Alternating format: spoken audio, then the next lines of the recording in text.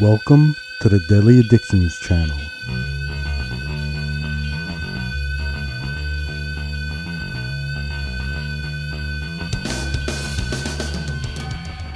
Hello again, everybody. Welcome to the Deadly Addictions channel. I am Joseph F. Ulses, Addiction Master. I'm going to be reading an article. Usually, when I read articles, it has to do with science or mental health. This is more of mental health, but it could cover both. I'm calling it Keeping Your Mind Healthy. As I explained in some of these videos, I flag certain articles, certain sites that catch my attention, and this is another one. However, like some of them, I don't see an author's name. The web page says skills you need, keeping the mind healthy. And there's a whole list of subsections to the left, which I thought were interesting because I can click on them and gather some information, do some podcasts on them. But I don't see an author's name, like who wrote it or. So I always feel bad when I see that. I'm going to read it anyway. I think there's some cool tips, and these are generalizations, but they could provide some information on the difference I like to distinguish between physical and mental health, how we treat them both differently.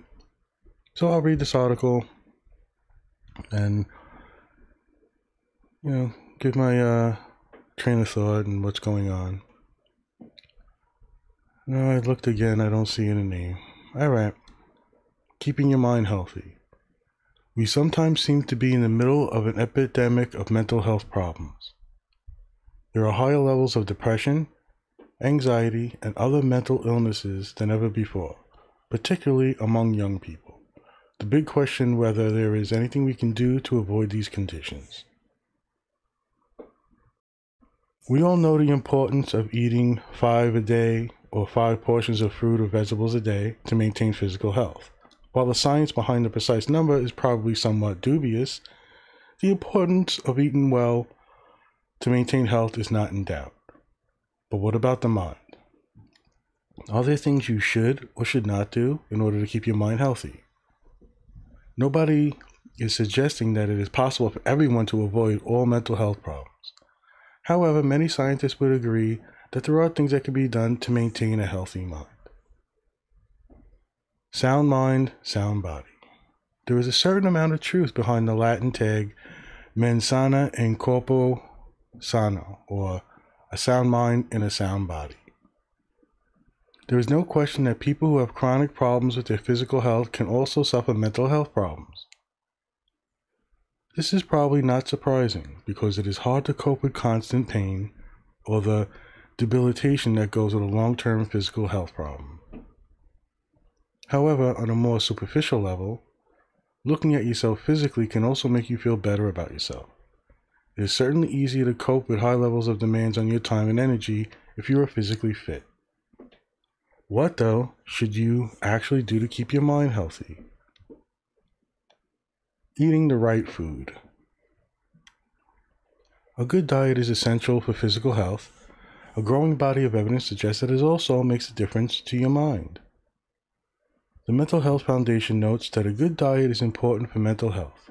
It also suggests that a diet can play a role in the development, management, and prevention of several specific conditions, including schizophrenia, depression, attention deficit hyperactivity disorder, ADHD, and Alzheimer's disease. That is not to say that diet can control these conditions, nor that it should be looked upon as a panacea or cure all, or that other treatments should be stopped in favor of a particular diet. However, diet may play a role alongside other treatments in the management of these conditions.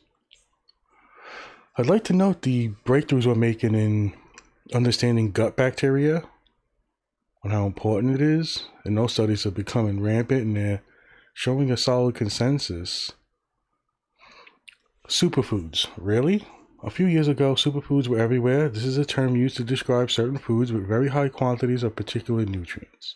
From the early descriptions, you might almost have thought these foods had magical powers to improve mental and physical health. Most sources now, however, suggest that the term is simply a marketing tool. The European Union has even banned the use of the term superfood in marketing except where the claim is backed by credible science evidence of a proven medical benefit.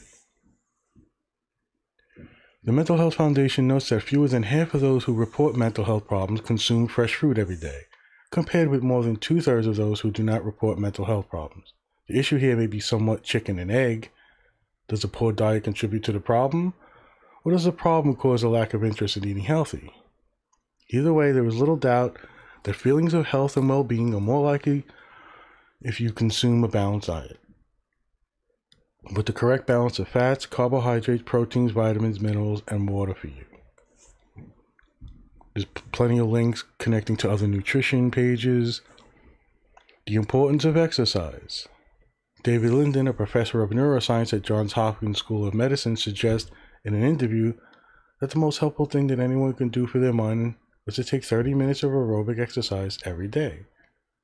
Linden explained that we do not really understand what behind the beneficial effects of exercise. However, scientists have observed that exercise causes all the blood vessels in the body, including your brain, to dilate. This changes the metabolic capacity of the brain. Exercise also makes the brain secrete certain chemicals which help neurons, which help keep neurons healthy and able to change. All this sounds very like a very good thing for the brain and the body keeping your mind active. There has been plenty of speculation in the press over the years about useful ways to slow down brain degeneration and aging. And in particularly, how it might be possible to overcome Alzheimer's disease and dementia. One suggestion is that doing crosswords and other puzzles or brain training that keeps your brain active might be helpful. However, this is likely to be far less helpful than physical exercise. This is because doing puzzles usually uh, uses only a small portion of your brain and does not do anything for the rest. The effects of exercise, however, are much wider. However, if you cannot do exercises for some reason, doing puzzles is likely to be better than doing nothing. a little common sense added in there. Social media, smart, smartphone addiction, and mental health. There is growing evidence that there is a strong association between smartphone use, particularly social media use, and poor mental health. It is not entirely clear what causes the link. However, there is a considerable speculation that speculation that social media leads people to make comparisons between their own life and the carefully curated lives that they see on screen. It seems that however much we understand logically that nobody's life is perfect, it's hard not to think that what is presented on social media is reality. It has also been speculated that fear of missing out drives us to wish to remain connected in case we miss something important. A little tip then. Social media is designed to be addictive. It is important for anyone using social media to understand that it is designed to be addictive. The currency of likes supplies external validation and releases various chemicals in your brain that makes you makes us feel good. The rapid changes in content and ability to just keep scrolling also discourage time-bound use. There is growing evidence that it is important to get into the habit of switching off your smartphone periodically, and not just at night. For example, many schools are now banning phone use during the school day. Some have even banned phones from the premises. This helps young people to switch off. Many workplaces now accept that the pressure to be connected is damaging and are taking action to protect their workers. Some, for example, are starting to encourage workers to have someone else change their email password before they leave for a holiday so that they cannot check their email while away. In France, Workers now have a legit, a legal right to not check emails or receive work calls outside working hours. A lot of this is, I think this is a growing phase personally, but I'm up for being informed and checking the information. But this is too new to, you know, it's just like TV and radio. It's, it's a little different, but we'll see. I'd like to see a lot of studies on it. It is important to reset pressure Oh, is it? It is important to resist pressure to be always on. Tell people that you will be turning off your phone and then do so. Try taking time out from technology. Spend time outside or reading a book, perhaps, instead. You know, I love going camping, sitting on my lane in my hammock, reading my book. Everything in moderation. The good mind. There is more to mental health and a good mind than simply avoiding dementia and other mental illness. The mind is shaped by all the experiences, ideas, and thoughts to which it is exposed. To a certain extent, then, you can choose what you feed your mind just as you choose what you feed your body. What you choose to consume for your mind can be described as your mind diet. Your mind diet can make your mind more or less healthy and certainly more or less interesting. Garbage in, garbage out. People talk about books that are trash or pulp fiction by this they mean light, easy reading that does not challenge the mind. Reading a book like this every now and then does no harm, just as an occasional visit to a burger joint does not affect your health. But a diet of junk food alone is not good for the body, and a diet of undiluted pulp fiction is not good for the mind. Your mind diet. It is worth taking a few moments to consider your mind diet every now and then. Ask yourself, how good is my mind diet? Is it what I would describe as a balanced diet? of different types of ideas and subjects, or do I tend to focus on more than one type of input? In particular, what is the balance between junk and healthy mind food? What effect is this having on me as a person? You might need to ask friends and family to give you honest assessment if you are concerned about this. What can and should I do to improve balance? Tip. If you struggle to construct an ideal mind diet, then try thinking about someone whom you admire and consider what kinds of thoughts, ideas, and experiences may have shaped their mind? Think about what that would look like for you. Now here I'll make a note that I I do something called the you know wheel of interest. So usually it's a it's like five or six type of uh, themes. It'll be science, funny dog videos, religious, political, um, humankind type stories, techno- technological breakthroughs and innovations. And I make sure I keep going in that wheel so I don't get too focused. So, this is good advice, one that I recommend.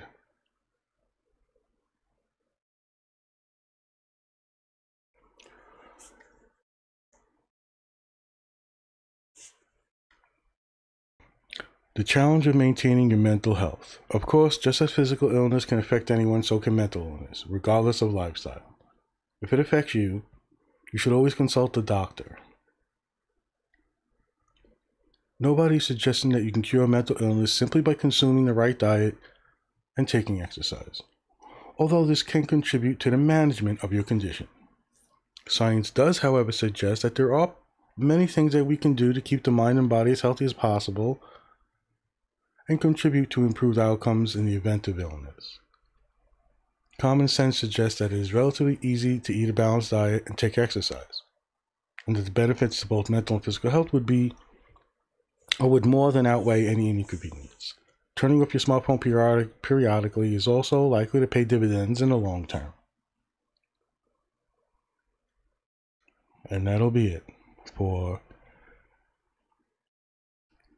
maintaining mental health, keeping your mind healthy.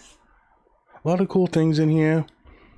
I think there's a lot of generalizations, but there is a uh, you know, with a running common sense that goes with a lot of these. You know, we all don't adhere to them. Surely I don't. Even now, I'm trying to exercise more, eat better. I think I got the mental health aspects down, but not the physical.